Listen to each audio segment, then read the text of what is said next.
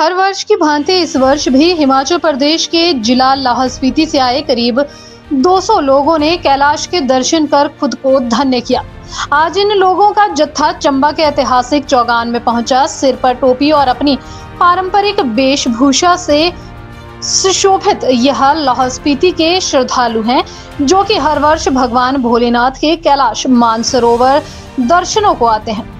चंबा के ऐतिहासिक चौगान में पहुँचे। इन श्रद्धालुओं ने अपनी इस मणिमहेश यात्रा के बारे में विस्तार से बताया और कहा कि हम लोग छह दिनों की पैदल यात्रा करने के बाद आज चंबा पहुँचे हैं।